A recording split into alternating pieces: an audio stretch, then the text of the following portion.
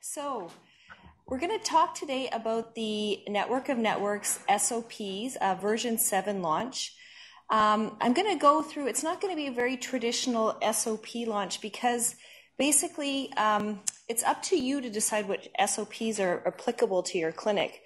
And because we have a different way of working in BC now, uh, I'm going to talk a little bit more about the background of Network of Networks. I'm going to talk about the SOPs themselves uh, how to access them, how to train, and also uh, what the big changes are from versions six to seven.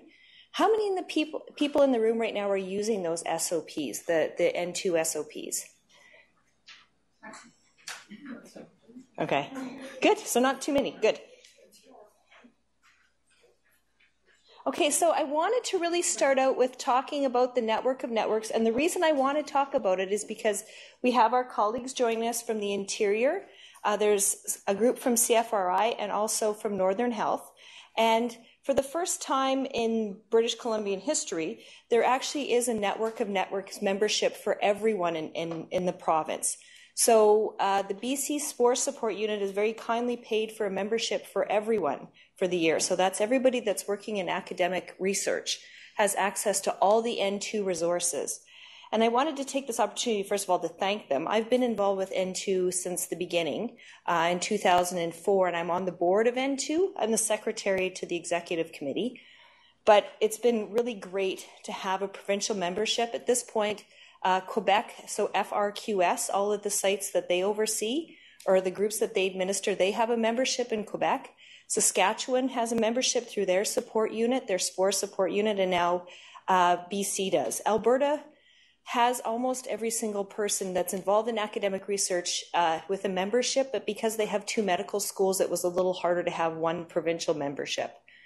But I mean, we're very thankful for this to the support unit for providing this membership, and I wanted to just make sure that everybody here, and I won't take a lot of time before we get into the SOPs, is completely aware of all the different resources that you can access through N2 these slides will be available to you, and also there's a recording of this session. So if you want somebody else to see it at some point, they'll all be available and you can have the recording.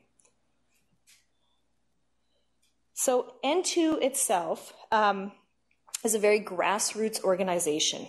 Started in 2004, and it was really coffee between Linda and Karen. Um, they were both leaders, or the, basically the operational leaders of, of different research networks. And they got to the point where everybody was doing their own training, and they thought, well, this is crazy. Why reinvent the wheel? Why don't we all do the same training? Because it doesn't matter what therapeutic area you're working in, you're still going to do the same kind of GCP or you need SOPs. So everything is similar, regardless of what the therapeutic area is that's, that you're working in. So they decided to contact the research networks across Canada, and we just happened to be contacted because uh, the Canadian HIV Trials Network has been around for a long time, and they did a Google search of well, it was probably before Google searches. They did a search of all the networks, and so there were seven networks that met originally in Toronto. And essentially, we talked about the different resources that we were all using in common. So we wanted to work together on GCP training, standard operating procedures, other tools and training, we knew there was other things, but really GCP was the major one. That was the driving force because at the time, everybody was doing their GCP training at investigator meetings or they were using the US version of the CITI courses, and there was really nothing available for Canadians. And also, there was real will uh, to have a Canadian collaboration. And I'm not going to go through all these in depth because they're quite long. So we started the, the GCP certification program online in 2008, and that's how we got to use the CIDI platform, the CITI platform. It's from the University of Miami, and they also had a similar uh, need in the U.S. because the because OHRP had decided very quickly that the Americans also needed training, and so this was a very again a grassroots group that came together at the University of Miami and said we need online training for all of these investigators who are working across the US. So they had created this platform, and a few of the people that were involved with N2 had already used that platform. So we contacted them, and they were more than happy to take us on. There are several other countries that are on the, the CITI platform as well. So Canada's the largest non-US country, but there's Korea, Japan, there's all kinds of different countries using the CITI platform. We also really wanted to have um, SOPs because everybody was quite frustrated. And I remember working at the CTN many years ago, and we had a group of us that worked on our SOPs for our group. We were sponsoring many trials, and it took us two years to do the SOPs. It was a long process because you're all busy working and you're trying to do things off the side of your desk. We put together a committee and we, we worked on them and got it done. And then at the same time, the N2 SOPs came up. So the real driver behind the N2 SOPs was to basically not make sure everybody in the country is not wasting their time rewriting SOPs when we're all doing the same kind of work that are we need to adhere to the same regulations. Um, you can look at all these. This is sort of the background of N2. Uh, right now in 2017, actually, we have 127 members, so we're quite a large group of people across Canada. We have um, Health Canada, and I'm going to talk a little bit coming up, they're going to be doing some consultations. So we're going to be doing consultations with Health Canada as they come up to, to deal with some of the changes to the regulations. But the only reason they come to us is because we kind of represent the biggest group of, of investigators and research sites across Canada. So N2 basically at this point encompasses research networks, universities, um, health authorities, kind of anybody and everybody that's working in research or clinical trials research specifically. We do have a community investigator membership, so we do have community investigators as well. So there's different kinds of memberships. And it's a really, if you have the chance, I would highly recommend that you go to the annual conference at some point because it's a great group to go to. There's usually about 150 people. It's in Toronto, and it's kind of the the best way to meet as many people as possible to make your life easier because you always have somebody to call to get resources from or somebody that has the same problem that you're having in, in the research world. We do have uh, MOUs with different groups, and I just wanted to mention HealthCareCAN because HealthCareCAN is, is the umbrella organization for the VPs of research across Canada. So we've done a lot of advocacy work with the VPs of research because we wanted to make sure the VPs across the country know that we're here and the resources are available in their institutions. But they've also really been great advocates on our behalf as well when they're, they're talking to different people in Ottawa. There's our mission and vision.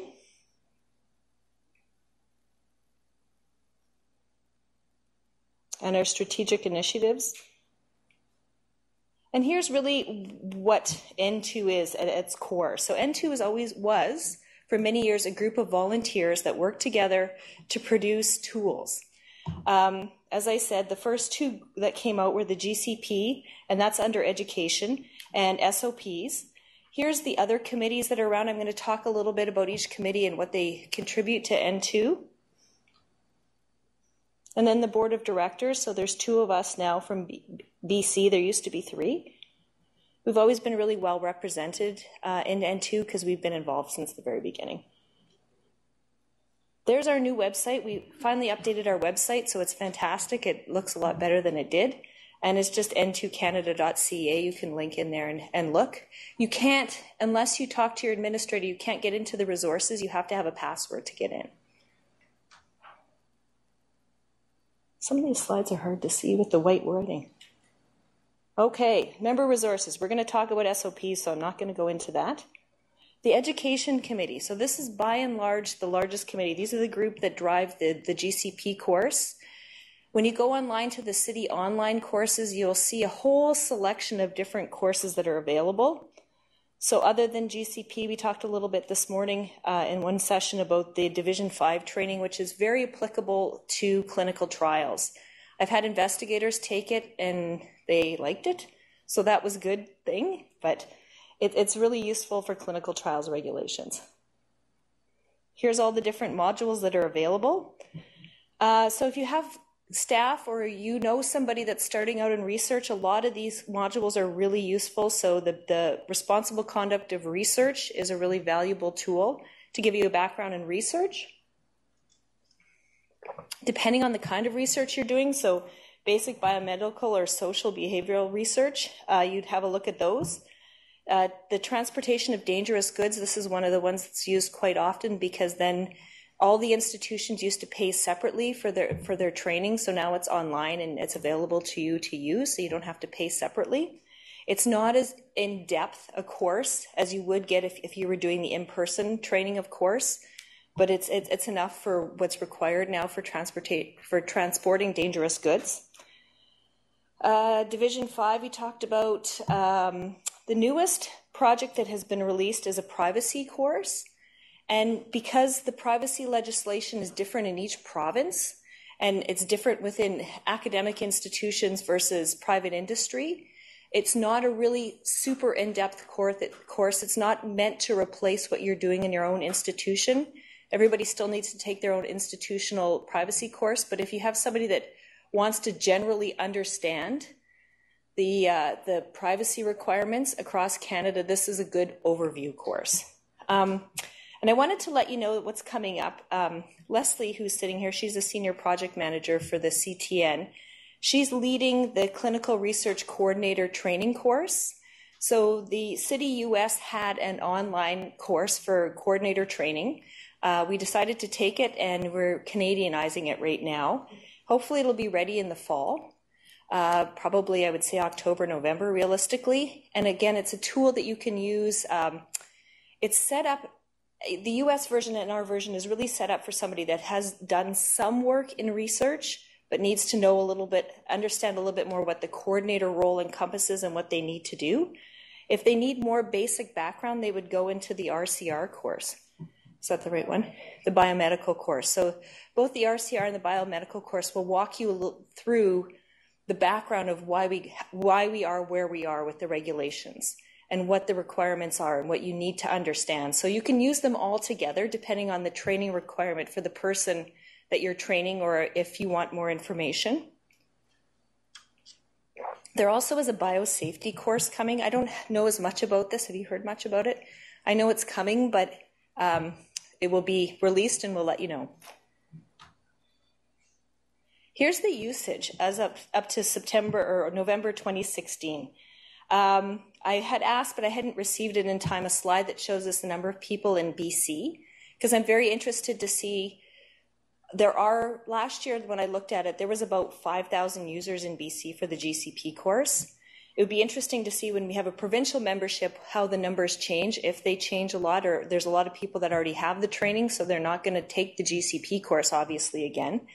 Uh, we'll see a lot more of a spike in the GCP refresher course at some point. But that gives you a rough number. So there's been quite a large number of Canadians trained using the CITI courses available to N2. We've talked a lot in N2, so the Education Committee is really focused on the online courses because that's really what the demand has been. Most people want to have access to something that they can do as they have time. So we've been talking a lot over the years about doing other kinds of education. So we have done one regional meeting here in BC. Uh, Quebec is doing a regional meeting this year, and we wanted to start to have regional meetings where we could have some information in the morning and then in person training in the afternoon. So we're getting there, but we're not there yet. Um, also, we have other courses. There are webinars that are offered occasionally. So Health Canada had an update to one of the, so for example, Vanessa's Law, if you've heard of Vanessa's Law. We did an update with Health Canada about that. So we tend to just do the webinars ad hoc, but if you have an idea for something that you would like to see as a webinar, just let me know and we can certainly work with you to, to make it happen. They're, we're pretty open. Most of our stuff is still driven by volunteers. We do have some staff now, but we're happy to, to accommodate as many people as possible. The Clinical Trial Education and Awareness Committee chair is Stefania. So many of you will know Stefania from VCH. Um, many years ago, this was the recruitment uh, committee, and we decided to switch gears with the recruitment committee. We really wanted to focus more on patients. Uh, we do have a large number of patient advocacy groups that are members of N2, and we wanted to make sure that there was somewhere there was a voice where they were being heard through N2. So that was really the driver behind this. And of course, there always is the hope that we're going to get more recruitment by, by approaching patients and having that input up front. So really, it was this resource that has been again a driver behind this committee the It Starts With Me campaign. It's a online, you can certainly use it if you have ethics approval in the hospital to use it. And uh, it really gives you the voice of research from the patient perspective, why it's interesting to be in research, what it brings to the patient. We just wanted to make sure there was something out there that was more of a, a public announcement of what research is and what it brings to the Canadian landscape. And it was a really controversial video when we first released it because there's a group of people in N2 that work in research ethics, and there's a group of people that work in operations. Those are kind of the biggest two groups. And some people really were unhappy with the wording and the way that it was presented, but it was really this is the patient voice. This is what they wanted. We received a CIHR grant to do this, and this is what they said they wanted to hear. So, so far, so good. We've been using it in a number of, of centers across Canada. Here's another really good one to know about the quality committee. So if you're interested in, in having better quality within your research sites and centers, this is the group that you want to get in touch with. We do have an informal list of people that ask each other questions and talk. I think that this committee has uh, been very invaluable to Leslie and I because we had approached them when we were getting a Health Canada inspection several years ago. And they provided us with um, a lot of mentoring because they had been through several, most of the members of the committee go through Health Canada inspections on a regular basis. One of the members works in pediatrics, so they get Health Canada inspections in their network every week because every drug for pediatrics is, is an experimental drug. So they see a large number of, of Health Canada inspections. But uh, Susanna and Sandia, who are the, the co chairs, they're both from Toronto, and Susanna's at um, Princess Margaret and Sandia's at CAMH. They also both see a large number of, of clinical trial inspections. There are all kinds of resources for you, from everything from how to educate the staff about an inspection to signs for doors, how to book rooms, how to interact with the inspector, questions they could ask you. So if you have any questions about that, you can talk to Leslie or I or anybody really that is involved with N2. We can point you in that direction. But really wanted to emphasize that if you think you're going to get a Health Canada inspection or you're getting one, don't go through it alone. There's lots of help and people that are happy to talk to you and help you through it. There are some, oh, I should go back. There's some other quality assurance tools as well. So if you're trying to develop a quality program, and this is something I'm going to talk about in a little bit, this is something that's really being pushed now by the new regulations that are coming. So quality is something that they're emphasizing. So you might want to start pulling out some of the quality tools and seeing how you can implement them in your site. There is a metrics committee. We do have webinars. They're going to be released very shortly as well. So if you're interested in how to best go about designing metrics for your specific center so you can keep track of things, this is a really great set of webinars to take. There's three of them. Um, we had worked with the Metrics Consortium in the US. I had been a member for a year when I worked at the Rick Hansen Institute. I found it very useful, but completely overwhelming. There's so much there. There's these huge process maps and dictionaries and things that were too much for me to use. I needed we needed some basic metrics to keep track of.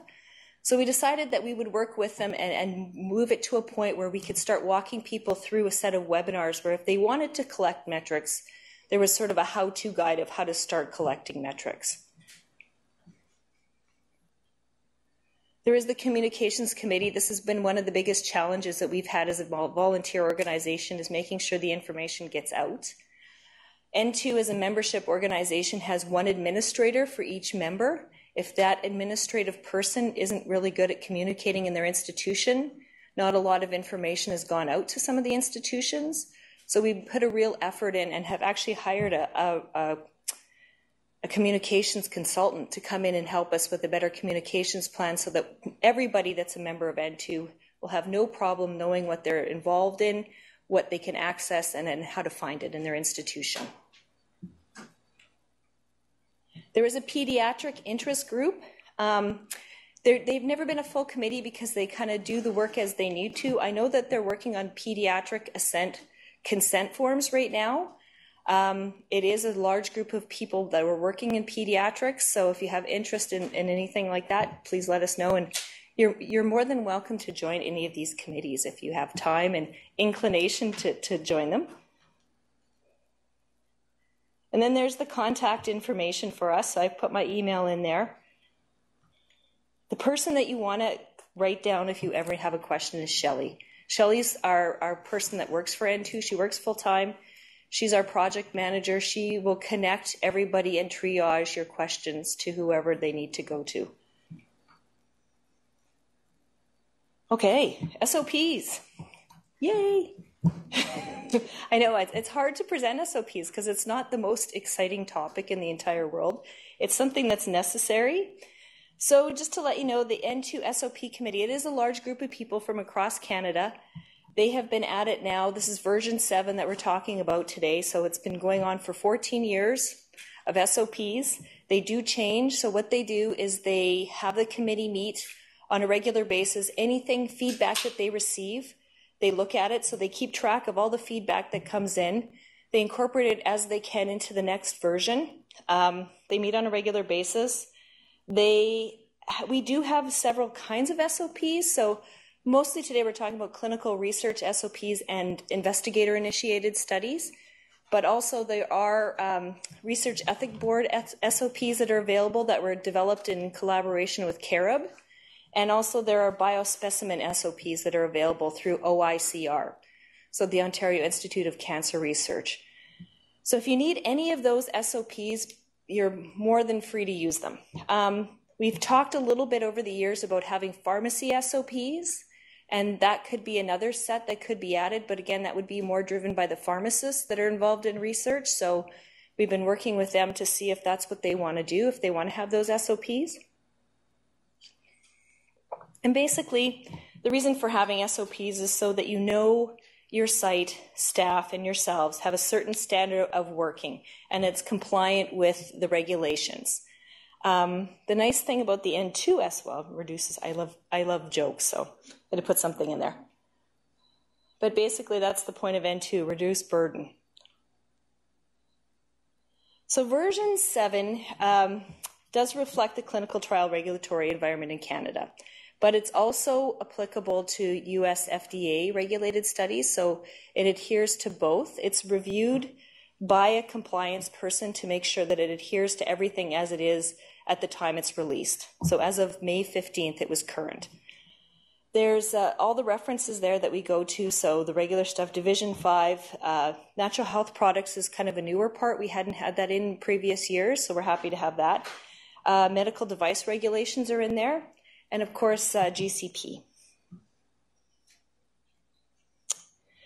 We're working towards in BC, I've been asked to see if we can kind of parcel out the parts of N2 that are useful to people that are working in clinical trials, so under the regulated environment, and then also the group of people that are doing all the other research studies that aren't regulated by Health Canada, but still have some basic requirements that they should adhere to or could adhere to if they had the tools available. So we're going to be working on that and having a webinar to talk a little bit more about what's available to non-clinical trialists. What would you want to have as, as a group to, to have access to? So that will come. There is a revision summary uh, of each of the SOPs. It's at the back of the SOP.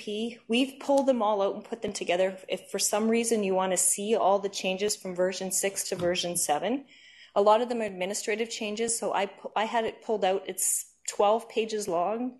It's not necessarily the most exciting document to read, so I didn't want to go through it in like page by page today. But I wanted to talk a little bit about the version 6 to version 7. So, other than administrative changes, the real driver this time, so we do revise them every two years. But the real driver is the, the upcoming changes that are going to happen with Health Canada. So, how many of you know that the ICH GCP guidelines had a revision?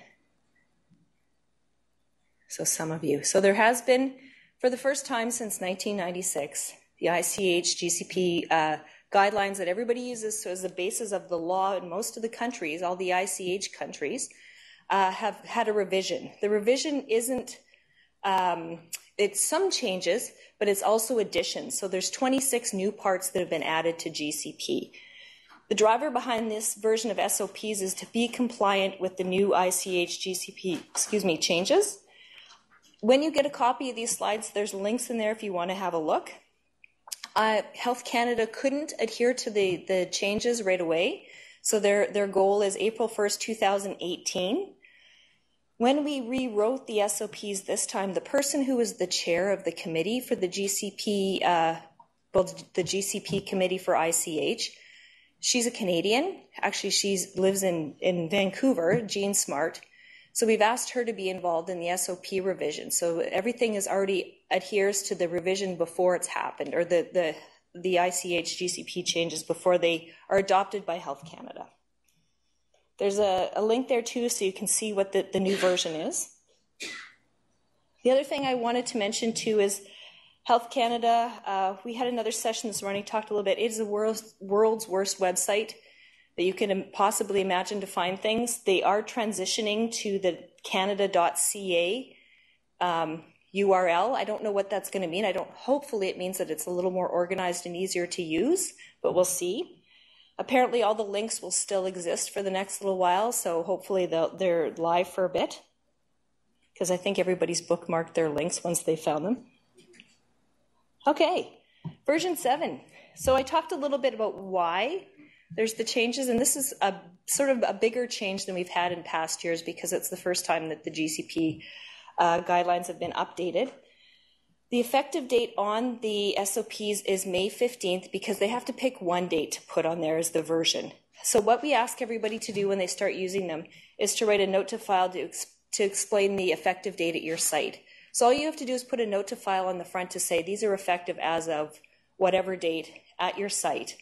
Um, probably best to do the effective date after you've trained people, but well, we'll talk a little bit about training too.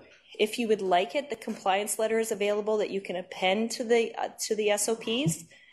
Um, when you're doing training, so there's going to be a real emphasis. I'm going to talk a little bit about this coming up on training. Um, you want to make sure, and I've been in this situation where people have these SOPs in a binder. There's no evidence that they were ever trained on them. So you have to have evidence that you yourself or your staff are trained on the SOPs. So there's really two different ways. You can decide to do the training through quizzes, and there's two quizzes available. There's a, a quiz that has questions, uh, no justification in it, and you just get the answer. You get your staff to fill it out and see if, if they are trained on that SOP, and then there's the answer key that will go with it. Or there's another way to do it, which also satisfies Health Canada. You can use a training page I don't know how well you can see this. We decided to, Leslie created this, but it's basically to give you the option of using which SOPs are, are relevant to you in your center, and if they're applicable or not applicable, and then sign off at the bottom that you've been trained on them. So this will be available to you to use for training purposes. So we can't go through the SOPs one by one because we would be here for 10 years, but also it's, it's not necessarily, each one is not applicable to every, every situation. We want you to make sure um, that you have a formal set of SOPs because it actually is required and especially now required under ICH GCP revision 2. You have to have some kind of procedure in place in your center. Um, we release them only as PDF documents at this point, so there's been an ongoing debate over the years. What do you do with these SOPs if they're not totally relevant to you and your center? So some of the centers have taken them, they have a working group, and they revise them. Some of the other centers accept them as they are, which is the PDF document. And I would really uh, hope that you could have work instruction guidelines. And the work instruction guidelines are more of the how do you actually do it in your own center. So just keep in mind that the SOPs are how you um, follow regulations as they are. They're very general. If you need something more specific, create your work instruction guidelines. Do not put them in your SOP binder. Put them somewhere else because if you get a Health Canada inspection, you're not in, under any obligation to provide them to the inspector. And if you do provide them to the inspector, then they, they'll make sure that you're following each of those instructions to the rule. So you want to make sure that you keep yourself some options that you're not doing things that you're not adhering to in your own guidelines. Um, if you want any help with work instruction guidelines, we can certainly kind of point you in the right direction, but it's really the hands on day to day, what you're doing, how you do it, how you log into your computer systems, the very like nitty gritty parts of your research site. Access, I just had to put this in, it's a disclaimer. Access is pretty, it's for everybody in this room. Um, please don't share it with people outside of academic institutions in BC. I can give you a list of who's a member, but it's basically all the universities, PHSA, all the health authorities. So covers almost all of us, but it's not for people working in industry because they do have their own SOPs, and we've chosen to keep it uh, more of a closed loop than opening it up to everybody everywhere across Canada. Here's how you access it, access the, the new version of the SOPs at Providence.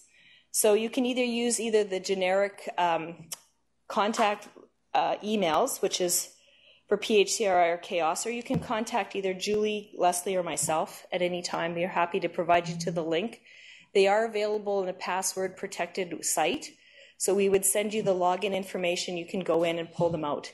You um, generally what we do with any of the SO or any of the N2 tools, we pull them out. We put them in a site that people in the institution can use um, very few people actually can log into the N2 website because they're because of membership issues essentially that everybody could go in and get whatever resources they want. So here we are. I've got copies of the table of contents.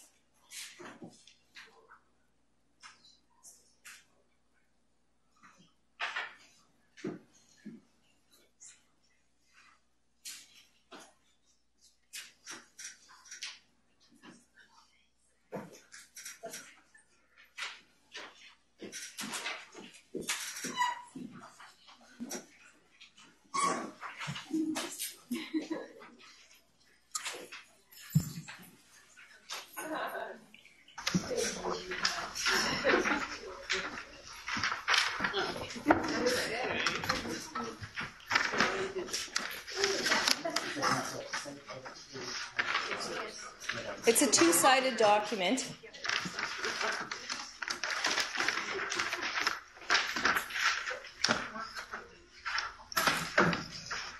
So as you go back to your, your workspace, you want to have a look at this table of contents, and you're going to have to decide which ones are applicable to your specific organization. We, um, I mean, there's some of them that are applicable to everybody. So, of course, you're going to have the, the SOP overview document, which is O1. O2, um, research team roles and responsibilities, you're going to have that one. Research team training. So, see, these are some of the ones that have seen really large changes to them from the previous version because of the, the changes that are coming to ICH GCP or have happened and will be adopted. Uh, the protocol feasibility and site selection, that's kind of, you have to decide the feasibility is good. If you're not working as kind of the sponsor person, you're not going to be involved in the site selection. So you take the parts that you need. Um, study initiation activation will be applicable in most cases. Consent will be this is a general overview of consent principles. This isn't how you do consent at your own site. That's always going to be driven by your ethics board and their policies. So this is an addendum to the ethics board's policies. Uh, research ethics boards, this is again general. How do you keep track of what's going on? You need to keep track of all the communications that are going back and forth. And again, it isn't the policies and procedures of the REB that are in here.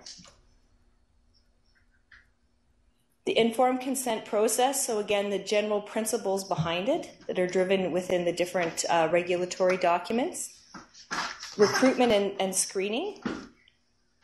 And again, that will d- depend on your specific. Oh. Oh, it's turned on. That's okay.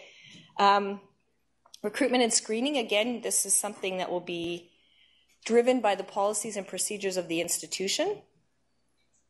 Biological specimen and investigational products. So if you're working in um, device for example, device trials, you're not going to need this investigational product SOP, so you can choose not to use it. Uh, specimen, most of us are collecting biological specimen in our studies, so you probably will. SAE, Uh, reporting. This is one of the ones that Health Canada looks for when they come for an inspection. They have sort of this top list of five SOPs that they look for to make sure that your site is doing it. Uh, SAEs is one. They what are the other ones? Uh, informed consent, uh, delegation, investigational product. Oh, training. Yes, training's a big one. Yeah. So maybe you should say it into the mic so everybody can hear it. I'm just going yes.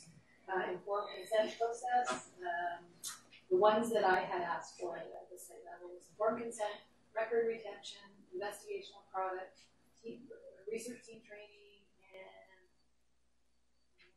delegation. Delegation. Delegation responsibility.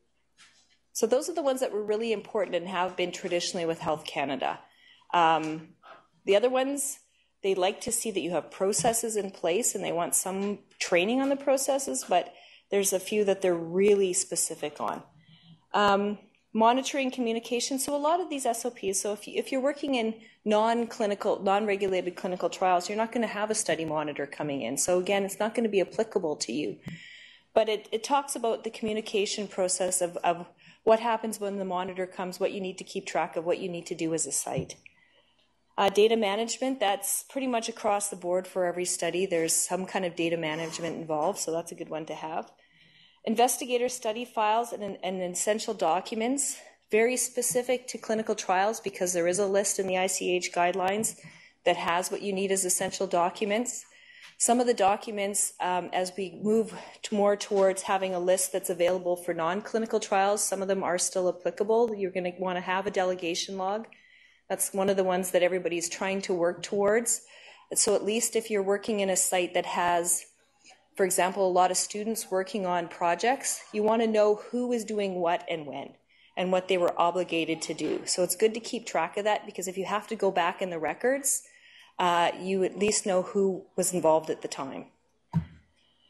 Uh, study closeout, uh, that one is pretty specific to clinical trials, audits, and inspections. Clinical trial applications. So if you're a site that's doing a lot of studies, um, uh, pharma studies or you're doing a lot of studies that are investigator initiated but you're not the sponsor, you're not going to need this because you're not going to be filing a clinical trial application. It's, it's the sponsor that will file it for drugs. Uh, confidentiality and privacy, again, this is mirrors what's available on the online course. It's, it's a generic overview of privacy and confidentiality. It's not specific to the institution. And the newer one that's been added is clinical trial applications uh, for natural health products. Where for a number of years we had a number of members of N2 that felt left out because they do a lot of natural health product uh, trials, and there was really no kind of SOP specific to them, so that's available in there. And uh, device studies, the information for device studies, so there's an SOP specific to that. So if you're a group that's only doing device studies, you're going to again pick and choose what you want. Equipment calibration and maintenance, that was one of the ones that Health Canada has looked for. This has, I think, been the bane of the existence of every clinical trial site in Canada. Uh, for many years, and I, I don't know if it's going to change. I'll tell you about the changes at Health Canada that might change some of this. But the inspectors were looking for equipment calibration for any of the any of the uh, tools for example, a blood pressure cuff, a uh, scale, some kind of pump, anything that you were using within a clinical trial, within a regulated clinical trial. They wanted the calibration documents for that equipment because most of us, especially everybody in this room, we work in an institution. You make the assumption that the institution has equipment that they're maintaining and calibrating. Um, that wasn't enough for the inspectors. So there's been a big push over the last few years for calibration outside of the regular biomedical calibration that's done in the hospitals. So we'll see how that kind of plays out over the next little while. Here's ones that are, are specific to investigator initiated studies. So, this is if you're the sponsor of an investigator initiated study and you need some SOPs to help you get going. So, designing CRFs, analysis and reporting, protocol document development, data management plan, database setup, a lot of it on database you can see. So if you are doing other kinds of studies and you want something more about databases, this is a good way to, to look at and have an SOP. Uh, this is, again, a group of SOPs that have been driven by Health Canada inspections because they've asked for many years for validation documents when they've been doing their, their um, inspections. And a lot of people, especially in investigator initiated studies, would go, What is a validation document? And unfortunately, Health Canada has never had good guidance on validation documents, so many of us default to the US regulations, which are more than fine in this case. But when you're in the middle of having an inspection and they're asking you for the validation documents and you're, you're struggling as to what they want, it, it's not a fun situation to be in. So I think there's going to, I know there's going to be a little more guidance around that coming up. And then there's just a glossary of terms. I mean, it's not an SOP, but it's in there. So that everybody's using the same terms because probably when we say study, everybody in this room has a different idea of what a study is and what a trial is and what a, there's many different meanings. So I talked a little bit about the changes as I went through. Again, here is the link to the R2 editions. Um, and all the changes are documented on the back. So if some reason you're looking at an SOP and you want to know what was the change in that specific SOP, the documentation is there on the back of the SOP. So, really, I'm going to tell you a little bit more about the R2 addendum just so you understand what the big changes are that are coming. Um, so, why? I mean, 1996 is a really long time ago now. Uh, there's been a lot that's happened over the last 20 some years in clinical research. As I said, there's 26 additions. So, they haven't taken anything out, they've added some parts to it. And the real response was modernization. So everybody wants to do things electronically. Uh, there wasn't really good guidance electronically in any of the countries. I think probably the Americans and the Europeans have been the leaders in that of how to deal with electronic databases. But it also integrates all of this global regulatory feedback for the last 20 years. So, all of the different countries involved in ICH have had inspections in their countries, and there's common areas that they keep seeing. So, they've incorporated some of that into the new R2 uh, revision. And there's more changes to come. Actually, all of the ICH documents, if you ever go into their website and look, there, there's a lot of changes that are happening. They're updating a lot of this stuff because it's been around for quite a while now. So the E6 General Considerations for Clinical Trials has just been released. So it gives you sort of an overview of what you should be doing as an ICH group of people working in an ICH country in clinical trials. The multi-regional clinical trials, this is kind of a newer one because now almost every single trial you're involved in is multi-regional, multinational, multi-something. So it's going to be adopted this year. They're going to do an update. So how's this going to affect you in particular? So, as I already said, April 1st, 2018, Canadians are going to be expected to adhere to the R2 revision. And the funny part right now is because different countries have adopted this at different times, if you're doing a multi center clinical trial, you might have a sponsor that's working under R2 and Canada is not. So they might be asking you to do things. You start saying, well, why are you asking me to do this? It's not something we've done before. But it's just because they're, especially the pharmaceutical sponsors, are on top of what the changes are going to be. And they're starting to work that way already. Having said that, though, the FDA hasn't approved it yet either. So. Um, the biggest change, actually, and this is a good change investigator oversight. It's a common inspection finding everywhere in the world for the last 20 years. The investigator is supposed to have ultimate responsibility of what's happening at their site. And really, this is the first time they've gone further to, to say that, yes, this, this one person, there's one person who has responsibility for everything at this site. You can certainly delegate different tasks, but ultimately they still have the responsibility. Down to the fact that the investigator is responsible for what's happening in the pharmacy what the CRO is doing if you're a sponsor investigator. They have to understand all parts of the study and what's happening, depending on what their role is as the sponsor or either just an investigator. Here's some of the new additions. I'm not going to read through them, but The one that's really interesting and it's come up perpetually in Health Canada inspections is training. Investigators are required now under the new revision to hire staff and train them before they start on the trial. So you cannot work on a trial that you haven't been trained on the protocol, you haven't been trained appropriately for the task that you've been delegated, you don't have the appropriate certifications or whatever is required. If, for example, if you're a nurse and you, there's nursing duties required in the study, and you're doing nursing duties and you're not a nurse, it's the investigator's responsibility to hire the right staff and to train them. And that's very well spelled out in this document. Um, SOPs. So there's always been this interest for the regulatory groups looking at SOPs. They want to know what you're doing and what your processes are. It's actually spelled out now. You need some kind of process and procedure in place. Delegation of EDC. So EDC is really the big addition to this, this version and to make sure that this is documented, who has access and what the access is and, and how you do it.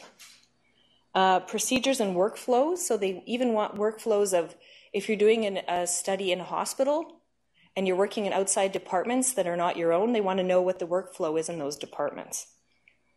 Uh, study meetings. So everybody does have some kind of research meeting in their in their organization or their site. You have to document it, and a documentation could be as simple as there's points on a board and somebody takes a picture of it, and you know what you've done. And you uh, but the best thing to do is have a sign off sheet. So you have an agenda, you talk about whatever it is. Minutes are preferred, and then everybody that's being trained, if you're being trained in a sort of a group session sign that they've been there and they're trained. So each person has to sign themselves that they've done the training. Uh, so any kind of documentation of study meetings, as I said. Uh, communication. You can't include text messaging in communication. It's been the one thing that's been not included. So there's no good way for regulatory authorities to keep track of um, text messaging, so they've excluded that. But anything you're doing by email, email trains are fantastic. Um, email trails are fantastic because you can do, see a lot of information in one document. And I think probably almost everybody uses email as their kind of documentation system at this point. Delegation logs are key. They're in the regulations now. You have to have a list of who's doing what, when they started, when they were trained and, and how long they've been involved. And if they leave, it needs to be updated. So it has to be done in real time. There's some new requirements for sponsors. So, as I said before, quality management systems. Uh, it's never been something that's been spelled out in detail in, in the uh, ICH guidelines. So, you're going to see things coming from sponsors if you're doing a lot of industry trials called a quality management system or risk management, risk management education. There's going to be sort of different quality parts that you're going to see. I think each sponsor will interpret this differently and decide to implement it in a different way. But there's a lot of information about quality and risk. Uh, documentation. So they've made documentation more stringent because this has always been the perpetual finding on inspections. There's not enough documentation. Probably most sponsors are going to do, start doing good documentation practice training. So you know what you need to document. And this will apply to everything. So if it's basically it's the same old adage. If you haven't seen it and it, if it's not documented it didn't happen. You have to have some kind of documentation of, of the processes and everything that's happening monitoring plans this is the first time monitoring plans are in the gcp guidelines they're really based on risk so it, it's kind of a good thing for many groups, especially in Canada, where we've always defaulted to doing annual monitoring, if nothing else. So you can do risk based monitoring now. So there's some trials that you're involved in where you're using a a drug that's approved for another indication, you know what the side effects are. It's not incredibly risky. It's not a new drug. Um, they would see those kind of trials will see less monitoring, and there's more availability to do um, monitoring remotely because they know that it's too hard to be able to go out to the site every time. So everybody's working on EDC systems by and large, so you can go in and do some internal monitoring and checks on the data remotely. You probably will start seeing, and this is kind of the biggest change I can think of too, is training on risk management. So we've never really dealt with risk management very well in Canada. I know some of the other countries have, but really, what is the risk in the, the study and at, at all different levels of the study? Um, so the, the inspectors were looking at monitoring plans for the first time. So that would be interesting to see how that goes. Electronic systems. So there's really a lot more information in this, this revision about electronic systems, particularly wording around validation.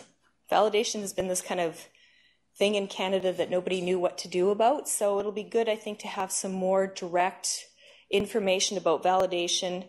The other one that's been a funny one that's come up in the Health Canada inspections is certified copies. So in the records of most clinical trials, if you're using paper forms, there's all these pieces of paper in there. The inspector looks at them and they have no idea who's copied it, if it is an original and true copy of what you photocopied it from. So certified copies could be something as simple as when you photocopy it, you sign and date that it's a certified copy from the original that you photocopied it from. Some organizations are using stamps. Um, they're certainly easier when you're using something electronically because there's an audit trail so you know that it's a, a certified version. So that's something else you'll probably start seeing from the sponsors. And I just wanted to give you a quick update about Health Canada itself. So they're, they're undergoing a reorganization. It actually happened last year. So the very strange part about the Health Canada Inspectorate was all the inspectors you can see across the country, they're the stars. They each had as their supervisor their regional director. So each of the regions was not connected to the other in the inspection program. So you had the inspector in, in Ottawa, but they had no oversight over the inspectors. So it was a kind of a bizarre situation. So they've certainly changed that. The, the new manager is Chad Sheehy, and we've got the new supervisor, Rick. So he will oversee all the inspectors. So we're really hoping that across the country this now harmonizes what the inspectors are doing. Because the biggest complaint over the years is if you're doing a multi center study across Canada, one inspector in one province will look at one thing, and somebody else in another province has a different set of, a different way to interpret the regulations. We've asked to hopefully see what their SOP is on how they train the inspectors so we can see if there's some kind of standardized fashion that they're being trained. But we're really hoping this will change the differences across Canada. So this has been a big change. In fact, all of Health Canada has been completely reorganized. So poor Chad, he works, he's the national manager of the inspectorate. That's his half-time job. So I think they've taken a bunch of different divisions and they've basically made a bunch of people managers of two different divisions. They've renamed them to a certain degree. I have a big listing of all the changes if anybody's interested. So hopefully it'll be a little bit um, easier to deal with the inspectors now. They're going to come out and start speaking. As I said, they want to hear feedback. They need to make changes to the, the law in Canada, actually, because Vanessa's laws changes that are going to affect clinical trials, and they need to be in, in our regulations. And all the new ICHR2 changes need to be incorporated. So they'll be coming out for consultation. I don't know how they're going to do it yet, but we'll see. And they, there's a new kind of atmosphere in, in Ottawa of being open and being available, wanting to hear from Canadians, wanting to, to be involved in what's going on. For a number of years, if you've been doing a lot of clinical trials, you know that Health Canada was kind of a shut door. You didn't quite know what was happening. So it's, it's a change and it's nice. Um, and that's kind of it. I have certainly more slides in any of these parts that we've talked about. I didn't really want to go into great detail.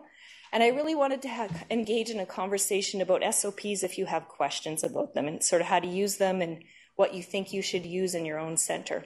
So thanks very much. And I'd ask that you use the, the microphone in front of you to ask questions in the audience here.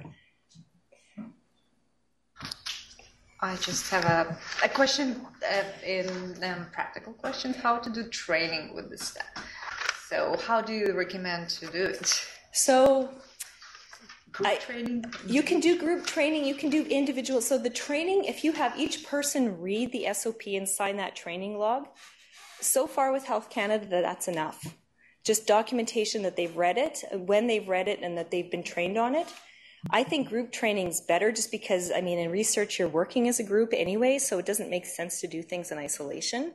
So you would want to probably pick, I don't know, one or two or three, do them as a lunch and learn maybe over a lunch hour, talk through them, talk through what's in there versus what's happening in your site and how you want to deal with that.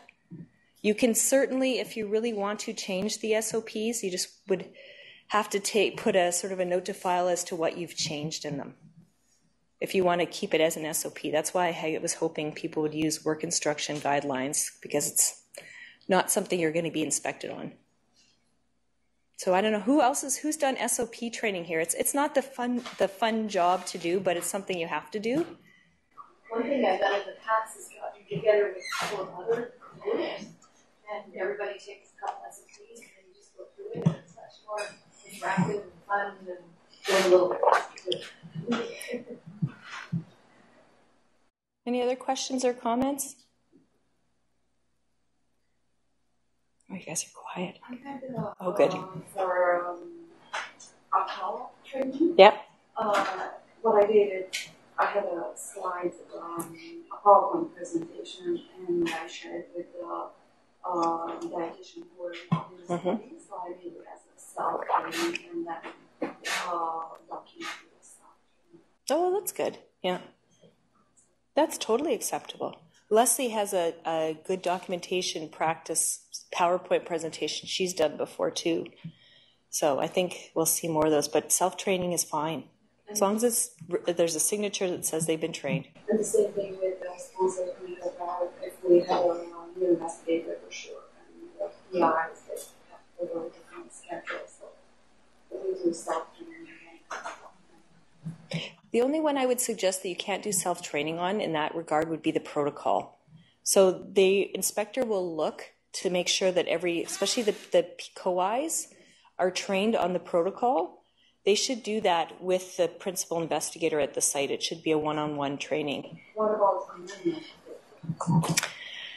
It depends on how major the amendment is. So if it's a big, like if the protocol dramatically changes, they'll still want to see that the, the principal investigators training the, particularly investigators on that change.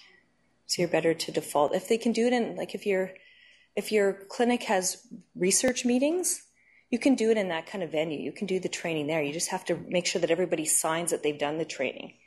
So it's really important that those co-investigators, whoever's being trained on the protocol, signs that they've been trained on it.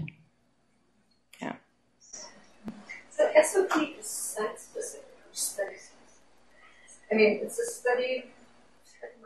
Well, I think what I always look at is SOPs are specific to regulations. Um, the study kind of manual should be what you're falling back on for your particular study. So there should be some kind of operations manual or something that tells you sort of the how to do this particular study, because the SOP is not going to do that. So it will be like work instruction. Yep. Studies, basically. Basically, yeah. Yeah. Because, I mean, if you're a group that's doing five or six clinical trials, you're going to have some kind of operations manual or some specific training manual or some kind of person that's going to train you on each particular uh, study. The SOPs would be generic across all the studies. Um, I know from this list of recipes, there's therapy system setup or system backup. Yeah. SOPs now are those specific to the IT department? Well, yes, if they're delegated to do it, right. they have to be on the delegation log. Okay. But it's still ultimately the, the principal investigator that's responsible for making sure that it's happening. okay. Yeah. Anybody on uh, the ph- uh, video have a question? All right. Well, you know what? If you know how to get in touch with us if you have questions, there's certainly a ton of people with a ton of experience in clinical trials. Uh, if you need more guidance on clinical trials, because it's not the most straightforward process. Um, but certainly get in touch with us if you have any questions. We're always happy to triage you to the right person if we're not the right people. So thank you very much for coming. I really hope you can take the SOPs that are applicable to you, do your training, get them implemented, and, and you'll be good to go. So thanks very much for coming today.